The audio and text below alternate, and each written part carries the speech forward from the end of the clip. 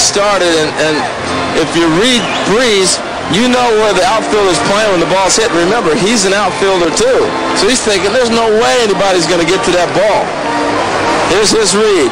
He turns, looks, freezes, and says, this ball's going to fall. I'm going to go. I mean, he had plenty of time to look at that ball, and he, that was the judgment he made.